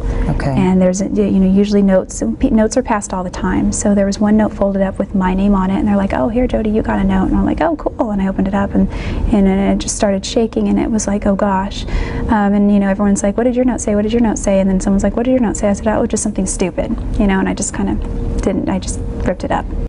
We good? Yep. Yeah. There we go. You ripped it up. Yes. Didn't you think it might be important to save it to show Yes. the cops and the detectives? In fact, I am still being threatened Yes. by these two people who allegedly committed this crime. Yes, and um, and I absolutely regret that these notes came within days of my arrest, and I think still that I was just very scared for my family. And it's only now that I'm speaking out about this because I just need to have faith that the Lord is not going to put them in harm's way because I decided to, to do obviously a little late, but I decided to do the right thing and, and tell what I knew. Because by, you know, the reason I'm sitting here is because I didn't do the right thing, is because I didn't go to the police right away. I didn't call 911 right away. You know, I didn't, I didn't go to a neighbor's house. Mark, do you want to go first? Yeah, so the first thing I really, really love is is about halfway through the incredulity in the interviewer's eyes. Is she really going that way? Is like, is that is this really what's happening right now? It's just brilliant, it's just genius. The other thing I, I love in this one is when is when uh, Arias kind of just goes back in her chair, wide eyed, and goes, "Yes." Yes, like I knew I should have done brilliant, brilliant idea. I knew I should have done that. I knew I should. Again, just trying to make a connection with her, just trying to make a connection and go, that is brilliant. I should have done that. I knew at the time I was thinking the way you're thinking, but gosh, not quite. Uh, Like you're smart, I'm smart. I'm not quite as smart as you right now, but we're both smart. So always trying to play and make those connections. Um, then we get we get these eyes down, but she keeps on locking eye contact on the things she really wants that interviewer and the audience to really know, which is scared for my family, the idea of faith, the Lord, the right thing. He says it twice again and locks eye contact, the right thing. Police right away. So she's now locking eye contact to try and enforce some ideas, especially this idea of a, of a, of a higher power, you know, and, and doing the right thing. And the only reason that she's there is because she did the wrong thing, but now she's in fear for her family's life because she's doing the right thing. And she has faith that God would not punish the repentant and the righteous. And that ultimately is what she's trying to do there, is to say, I am being repentant and righteous now, and therefore my faith is in God that He would never punish that, and therefore anybody who is, you know, believing in God or religious in that way, you wouldn't punish me either, because this is now, you know, the work of God, repentance and righteousness. It's extraordinary. It's, it's kind of brilliant. But again, the interviewer quite rightly is there, incredulous at the angle that she's taking on this. What a what a performance! What a performance! Chase, what do you got? Yeah, so I think we're we're seeing this again. She's saying the words, and and I regret. And what comes right after? That came within a few days after my arrest. So there's, I regret, or I'm ashamed of, or I'm embarrassed about. Let me give you some evidence. And I'm embarrassed about it, but there's some evidence because it has to be true if I'm making some kind of confession of personal uh, admission here and, and opening up to you. So this whole thing is uh, evidence management, perception management, and story management is all we're seeing here. And in reality, I decided to do the right things a little bit late. Let's think about this. It's the same story she did with calling the police after she encountered the uh, saw these people attack the people attack, she didn't call the police right away. She got the letter, she didn't call the police right away. So we're seeing a, very similar storyline. And if you watch the last one second of the video, the last one second, you'll see Duper's delight. The left side of her face tightens up, the cheeks raise up, and the lower eyelids raise. And it is the quickest micro expression I've ever, I think I've ever seen uh, analyzing a video. I watched it a few times and I had my iPad uh, just like three inches from my face trying to watch it, but it's there. And she fits the sociopath criteria perfectly, except for one thing past behavior beyond the age of 15 younger than younger than the age of 15 she hits all of these major indicators from the DSM-5 which is the psychology manual to diagnose a mental disorder. Past behavior before this incident unless there's something we drastic that we don't know about yet she fits all of that. And maybe that shows us a weakness in the DSM, in the Diagnostic Manual for Psychology. But maybe this thing is some thing that's going to show us that there's something else going on, which I think is borderline personality disorder. Again, I'm not making a, a diagnosis, nor am I qualified to do so. But I'll leave it at that. And Greg. Yeah, so here she's closing the loop. Yes, yes, yes. That yes, yes, yes in this case. I think she has made contact and she thinks this woman is bought into her. She's reeling her in, is what she thinks. Now, she if she thinks that, she clearly cannot read body language because I agree with you, Mark, right there. Disbelief is all over her face, like, really? This is what you got? But she runs down this whole thing and then she does something I could not have imagined possible. She went from this chaff and redirect and all this to holy ground. Now she's become what I call a stancer, what we call a stancer in our true crime workshop case.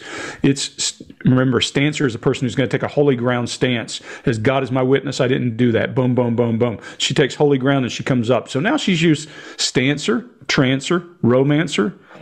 She's used insulator. She hasn't used prancer yet, but she'll figure that one out yet, I'm sure, because she's got lots of strategies up in that head of hers. You notice that this is really what I think you're seeing. She does an eye block and then makes eye contact again. That's the connection. She thinks now I've got this woman. And again, I think she's missing that this woman doesn't believe her story, but she believes that she's falling for it because it's worked for her so many times before. And what an organism, all of us, every one of us talking to you, and you included, are simply a creation of things that have been successful in the past. If you get your knuckles wrapped enough times, you don't do things unless you are into having your knuckles wrapped. But if you are rewarded for something, like you get candy every time you do something, it just becomes part of your repertoire and it compounds and compounds and compounds. And to Chase's point, sometimes it compounds in very negative ways and into pathologies that maybe we wouldn't even know what all of them are. But when we talk about borderline personalities, those are close to pathologies and those kinds of things. So we can't diagnose her, but what we can say is I've talked to a lot of people like her in my past, and they always try something like this until you get them to the point where they go, "You lied to me." Once you you bust them and you tell them something, and then you use what they tell you against them, they get really, really angry. Usually afterward. So that's what I'm seeing here. And then uh, I, who's next? Is it Scott? Me. Yeah. So what we're, so what I'm getting out of this is as she's going along, as she's trying, as she tries to keep up with these people who interview her, she tries to become that person. She re- reflects back. She's using the classic yes and, and that's what you do in improv. No matter what somebody says, yes and, and you add something to it right out of the gate she says that as part of her as part of her first answer yes and. She says yes yes but then yes and. And then she starts creating again the, this story going along. Y'all have covered most just about everything i've got. Um, but then she but then again the classic of falling back on religion like mark was talking about just goes right back in. Now don't get me wrong. I like i always say i, I believe in god. We're very tight you know. And jesus loves you but I'm his favorite. And so as we so as I tell you about this, that's that's where I'm sitting on it. So she goes as, as she goes in. It's it's the it's the classic. I know I did wrong. Like exactly what you're saying, Mark. I know I did wrong, but now I should be forgiven because I I realize uh, my transgression. I know what I've done. I, I see what's happened here. And it's the classic. You sin, and then you pay the penance for for that sin is what's going on. She's saying, so I'm paying that now because, and like it's not going to be any big deal. That's why I'm in trouble. Shoot, they're going to figure it out because I just did this over here. It's, it's no big deal. That's actually what I did. Not that big a deal. When it's actually, she's not got a shot getting out of there. You know, we know that now. But even then, you can see it on her. She's she's really not that sure. But man, she's trying to sell it that she's going to get out. But that's where we're ending up. She's showing it's the classic. I've, I've learned my lesson and I'm not going to do that anymore because I am right and I am a good person. I just did this one thing wrong over here. So that's what I get. Right. Yeah, I think you guys, what you just said ties together nicely because what Chase is saying, she's trading guilt. You know, she's trading down. She's giving you less, something less guiltful, and then she's trading it off, saying, "Look, I did make a mistake," and and and, and then giving you that guilt and saying, "My family doesn't deserve to be punished for this," and we'll hear that again later. Yeah, and if if you're at all interested in what Greg was talking about for what worked for somebody in the past, and this is how all of our habits are formed, whether or not you want to go to the gym more often or eat healthier, all of those things, it happens right around this spot right here in the brain. There's a little spot called the nucleus accumbens. And the nucleus accumbens is a dopamine memorizer. It says, I did this before, it worked out, and I got some dopamine from that. So I'm going to force the brain to do that again. And it runs dopamine through a channel right here called the ventral tegmental pathway or the ventral tegmental area. And that goes back and forth in the limbic system and forces a cycle that even at the age of eight or nine, if a behavior worked, you're more likely to repeat it. Even at the age of 55, sitting in an interrogation room, you'll do the same thing that worked for you when you were young because of that little spot. called the nucleus accumbens. If you want to go look it up. And it doesn't That's- matter whether that was a bad or a good thing, depends on whether you perceived it as a good thing. Right. And that's why we love our phones so much because we get that feeling that searching out, finding the thing, and we keep going back to it and going back to it and go back to it. The like thing, all that stuff is based on what Chase was just talking about. It's, it's if you're into that kind of thing, again, yeah, Google that. It's a fantastic So go like what we're talking about and you'll get a reward. yeah, hit like. You ripped it up. Yes. Didn't you think it might be important to save it to show Yes. the cops and the detectives? In fact, I am still being threatened Yes. by these two people who allegedly committed this crime. Yes, and um, and I absolutely regret that these notes came within days of my arrest, and I think still that I was just very scared for my family. And it's only now that I'm speaking out about this because I just need to have faith that the Lord is not going to put them in harm's way because I decided to, to do obviously a little late, but I decided to do the right thing and, and tell what I knew. Because by you know, the reason I'm sitting here is because I didn't do the right thing. Is because I didn't go to the police right away. I didn't call 911 right away. You know, I didn't I didn't go to a neighbor's house. All right, we good? Yep. Yeah. All right. Why didn't you apologize to them? I did apologize to them. You never said, I'm sorry. I said that I'm sorry, that I'll never be able to make up for what I did, and that I can never replace their loss. But you didn't use the word, I'm sorry. Well, then I'm sorry I didn't say that because certainly I am sorry. I think, in a sense, the words I'm sorry just seem meaningless, especially since nobody believes what I'm saying anyway. You said it right there. No one believes a word out of your mouth. Why do you keep talking? Well, um, because I know that I'm not just, I've lied before. That doesn't mean that I'm a liar by definition, by character. What do you think of this jury? It's pretty clear they don't think too much of you. I wonder what you think of them. Um, I don't know. I feel, I feel a little betrayed by them. I don't dislike them. I just was really hoping that they would see things for what they are, and I don't feel that they did. To a lot of people, they think this switch from I want to die to now I want to live is just another lie from Jodi Arias. Well, I don't know what that means. Was I lying when I said I want to die, or was I lying when I say please spare my life? You know, um, whatever happens, I'm just going to take it and deal with it. You said today you want to give Travis's family closure. You know they want you dead. So why don't you give them that closure?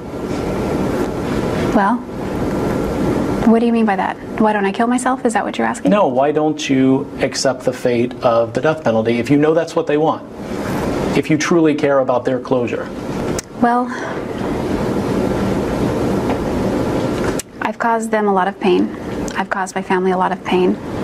And I think that by asking for death, I'm only going to cause more pain to my family. If you were on that jury and you had heard what they have heard, would you kill you? I don't believe in capital punishment, so the answer would be no. For now, Arias is sticking by that story the jury didn't buy that she's an abused woman who killed in self defense when Alexander lunged at her from his shower. So you really are never going to tell the truth about what went down in that bathroom? I don't know what you mean by that because I've told the truth.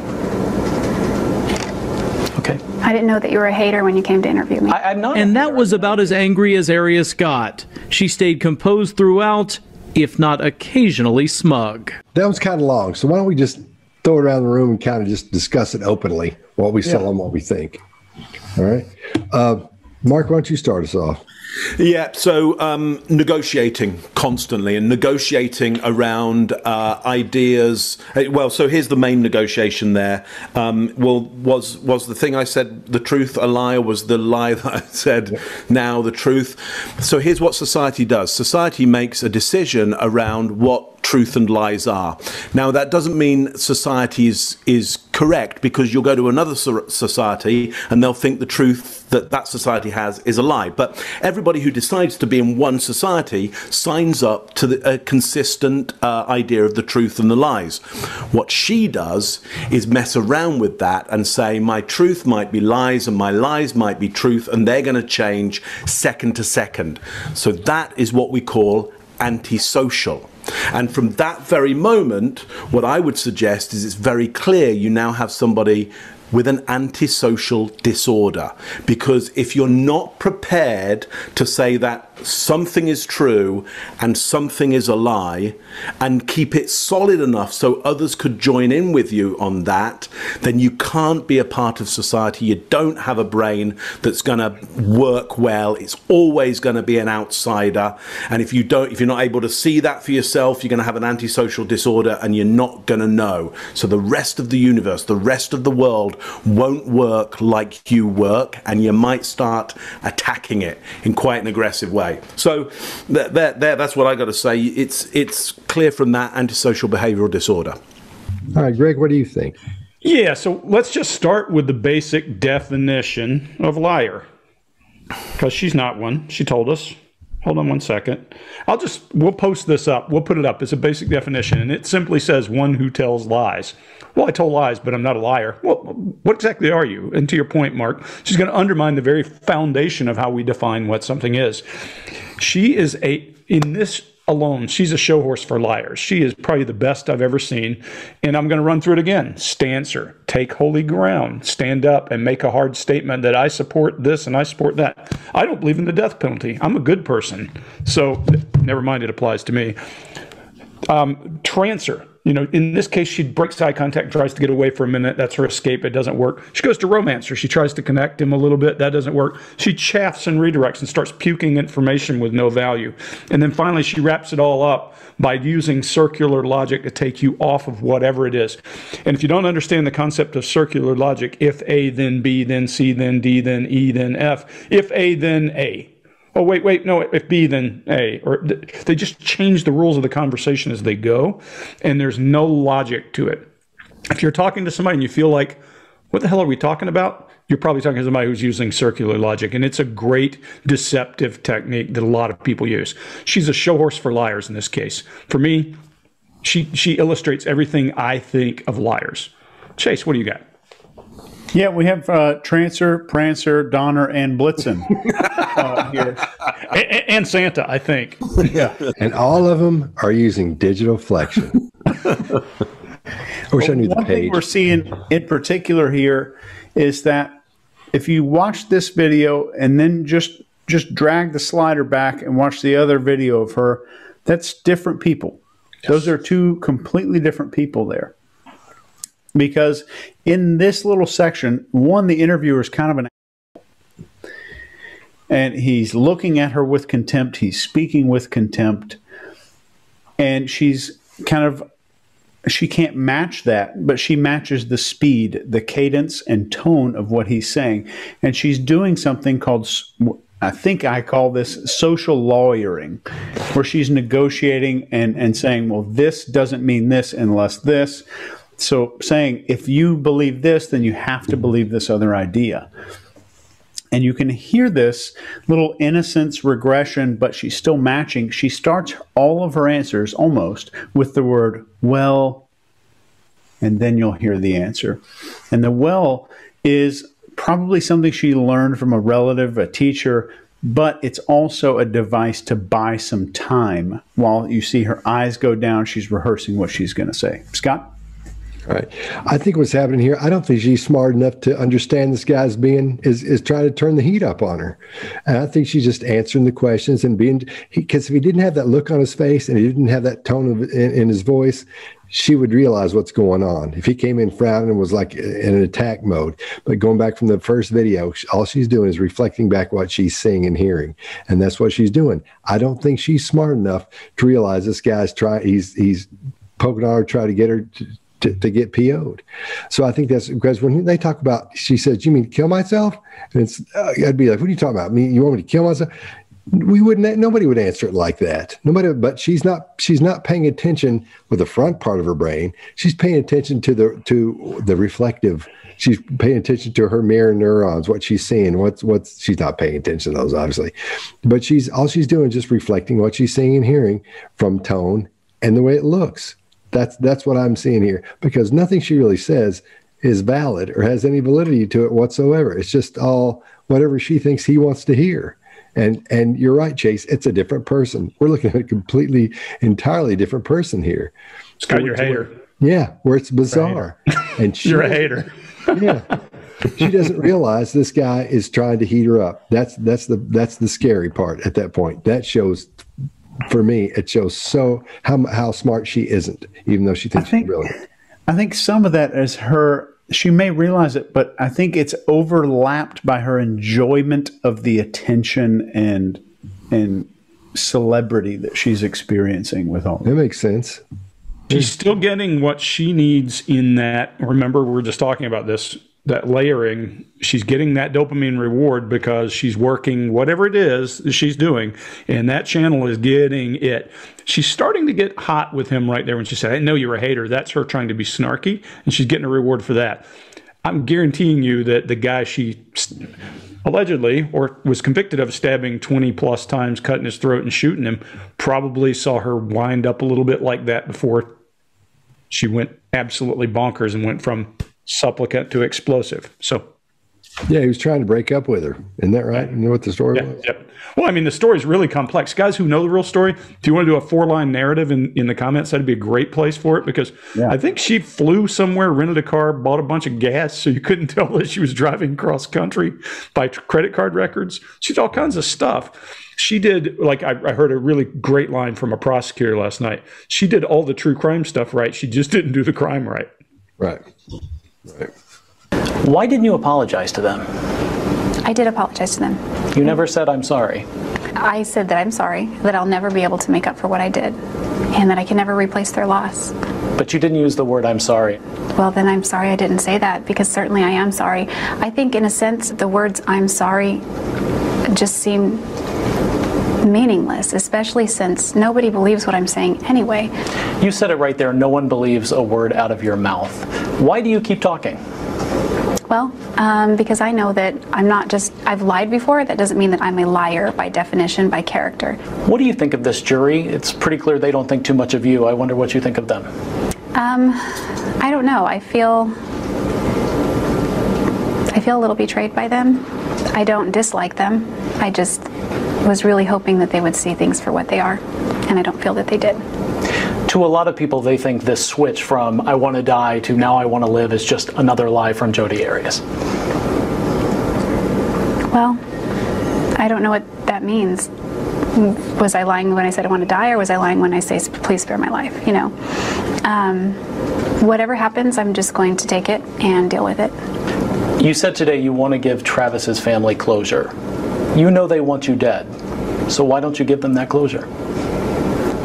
Well, what do you mean by that? Why don't I kill myself? Is that what you're asking? No, why don't you accept the fate of the death penalty if you know that's what they want? If you truly care about their closure. Well, I've caused them a lot of pain. I've caused my family a lot of pain. And I think that by asking for death, I'm only going to cause more pain to my family. If you were on that jury and you had heard what they have heard, would you kill you? I don't believe in capital punishment, so the answer would be no. For now, Arias is sticking by that story the jury didn't buy that she's an abused woman who killed in self defense when Alexander lunged at her from his shower. So you really are never going to tell the truth about what went down in that bathroom? I don't know what you mean by that because I've told the truth. Okay. I didn't know that you were a hater when you came to interview me. I, am not. And that was about as angry as Arias got. She stayed composed throughout, if not occasionally smug. Okay, we good? Yeah. Right. Yes, that's really all I needed. Sorry. Don't roll the tape yet. Jodi, how did you no, I don't think that. Was the relationship ever violent? Um, pass on that question. All right, Chase, what do you got? I think no matter what, if we were to just distill body language down into ridiculous simple levels to where I could write a body language book on a post it note, it would be the body is either closing or opening. That's bigger than a post it note, though. but that's it. Uh, The body's either closing or opening, and we can look at it through that lens, especially in the beginning. If I'm teaching you body language and, and you're at home, you got to interview a babysitter, you got to interview somebody who's going to watch your kids or somebody at work. Uh, It, the first piece of advice I would give you is to watch if the body is getting closer together or opening back up. And we see some of that here. But before that, we see this this makeup scene where she's doing her makeup. And I think that really illustrates some of the personality we're talking about with this personality disorder that she may or may not have of just this addiction to the limelight, attention, affection, and a feeling of some kind of importance. And I'll give you one thing to, to as just a parting note here that the mask that a person wears is usually the opposite of whatever they're most ashamed of from childhood. Scott? I, I this is this is everything we've been talking about. Every every bit that we've been talking about. She's worried about the cameras. She's trying to again imitate these people and reflect back uh, what she's seeing and hearing. I th- and, and you co- you've covered most everything. You guys covered most everything. It's that's I got nothing after that. Mark, what do you got? Yeah, just nice to see, you know, those delicate self soothers there as she hears this question that she doesn't want to answer, and then you'll see the, the leg moving up and down in a repetitive uh, way. Um, and again, just self soothers. There is underneath that uh, exterior that she's putting forward, which you know has no head movement and and uh, is able to mirror that external world really quite well. Inside that, there's some uh, uh, concern and uh, and anxiety there. Uh, maybe very specifically around this question, but but it's there. Greg, what do you got?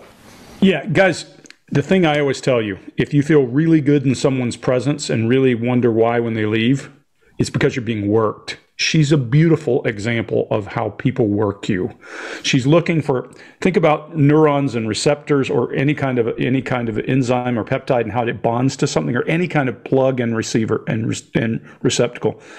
What she's doing is looking for places and chase i think you're dead on to the thing about you know when you're a kid you're trying to fix all of that stuff from when you're a child. What she's doing is trying to find what it is you need and plug into it. And she does it instinctively i think. I don't think she's sitting there brilliantly going yes yes. I don't think that's her. I think she just instinctively does. Now why? Smarter people than me have written many books about why people turn out this way so go read those books and try to figure out why. But somewhere in her past, there's been this something that caused her survival of organism to learn to be able to do this. Some of it may be biological, some of it may be, you know, based on on nurture. But she is masterful. And if you ever want to know if you're being worked, watch this. If a person can change gears between people they're talking to and become what that person needs, you need to be cautious with that person. Doesn't mean that they're evil or doing anything wrong. Some people do it as a sales technique or that. But a person who does it at every turn in their life is a dangerous person, not because they're going to do something to you, but because they can. That's the only reason I, I mention it. Pay attention. There are plenty of good people who can mold and morph and chameleon-like move from from place to place. It's a skill we're taught as interrogators. But I would say I taught a lot of interrogators. Too bad she's a bad person she could have been a great interrogator using those skills and being able to figure out what a person needed to talk and get into trust. But that's how these people work. People who are broken have some of the same skills as people who don't, and hers are good and instinctive. That's what I believe. Yeah, I think she's un- unconsciously competent in all of these skills that, we're, that we're talking about. Yeah, well put. Well put. Okay. That's great, great phrase. Again, please subscribe. Uh, just hit that little red thing down there and hit like as well. And uh, that's a little bit longer than usual, but there we go. There's nothing they can. I'll see you guys next time. Thanks Deal. for sticking with us.